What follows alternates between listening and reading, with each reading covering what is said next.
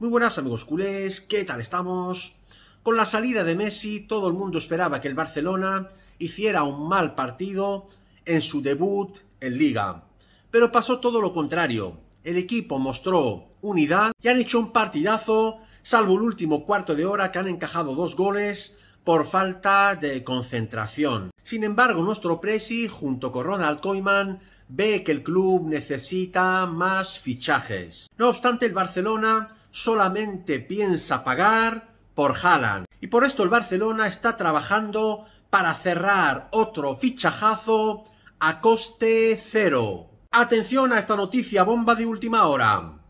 Una fuente británica muy importante acaba de informar que el Barcelona está a punto de cerrar el fichaje de uno de los mejores jugadores de la Premier League y totalmente gratis. Se trata de nada más y nada menos que del genial centrocampista holandés que milita en el Manchester United de tan solo 24 años de edad, Donny van de Beek. El jugador, como sabemos, no está a gusto en el Manchester United y el Barcelona está a punto de cerrar el trueque del verano. El jugador que está a punto de entrar como trueque por el fichaje de Van de Beek por el Barcelona y sin dinero de por medio es nada más y nada menos que Philippe Coutinho. Las negociaciones con el Manchester United van viento en popa y el trueque se puede cerrar antes de finalizar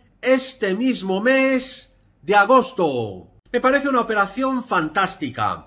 Los dos equipos salen ganando, pero sobre todo el Fútbol Club Barcelona, que va a quitarse de encima a un jugador que cobra un pastizal y que no, y que no ha demostrado nada, y en cambio va a tener a un pedazo de centrocampista que hace falta en el centro del campo.